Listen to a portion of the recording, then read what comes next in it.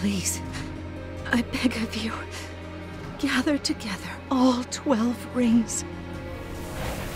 When your scattered memories return to you, you must fight on with the utmost divinity.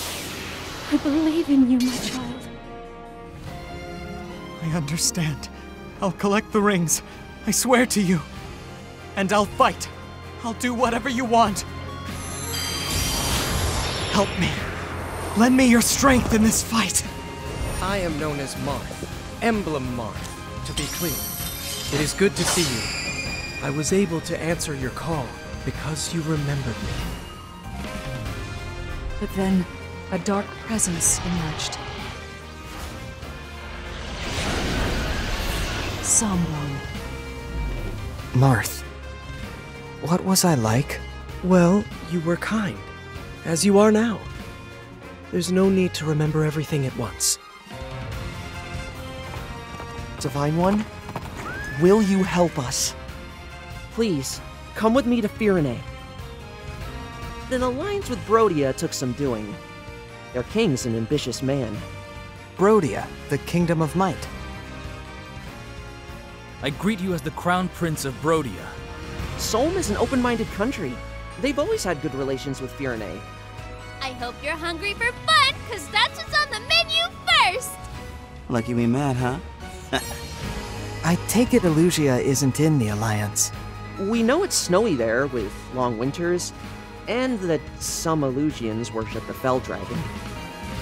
Come a little closer. I'll give you a good long look. I will now take your lives, your souls, and the rings. He is not yet at full strength. My kingdom has another emblem ring in its possession. Well, isn't this tragic?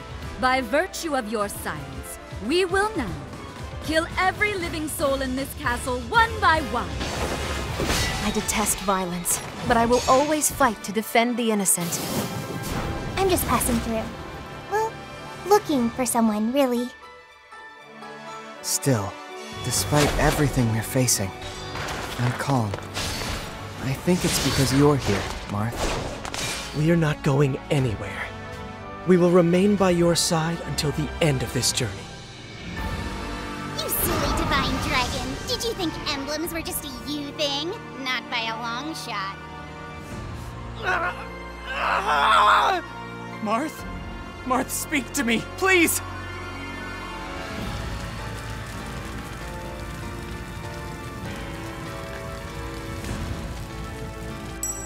Everyone you care about, they are all dead.